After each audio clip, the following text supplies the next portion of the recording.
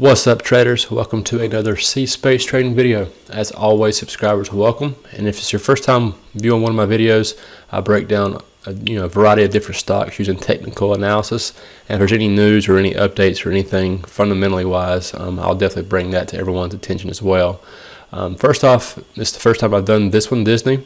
Um, just because I've been watching it for you know quite some time, and I figured I'd bring it to everyone else's attention um, and just see what's you know happening now, what could possibly happen in the future, and what's what's to come over the next couple months. So if you notice, I've had the weekly chart um, pulled up currently, and you know back in 2012, Disney made a very very strong run all the way up until the you know the, almost the end of 2015, and now it's been kind of doing basically this uh, this bullish flag. So you had this long flagpole here dating back for a couple years, and then over the last couple years, it's just been kind of you know, it's got this wedge, this flag effect going, and I'll actually even draw that out so you could see it. So you're touching the top of here, and you're flying through, hitting these pivot points.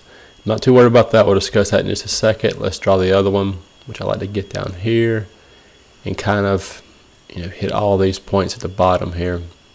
So you have this this, this flag that's been flying for you know several months, a couple years, and just um, just a few weeks ago, this thing actually broke out, and you thought that maybe this was about to take off and run for quite some time, but it actually came pouring back down after a um, a bearish candle here on very high volume, and now it's dipped back in. If you look at the daily, you see how the, uh, the evening star uh, bearish flag sitting at the top of this this run up here had a you know very high volume, meaning a lot of sellers came in and pushed this thing down and it kind of started trying to consolidate here along this trend line.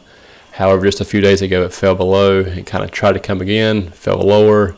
It's trying to go again, and now it just seems like it's back in this in this channel here. So I have to keep an eye on it. Um, if I had to guess, you know, for the next couple weeks, this thing's probably going to slowly trend down. You know, chopping along the way, it'll probably come down. Um, this would be a good area of support around here as you have it a couple times, which is where it's on now. So it may go sideways. Um, have to keep an eye on it, see if it don't turn up now that it's along this line here.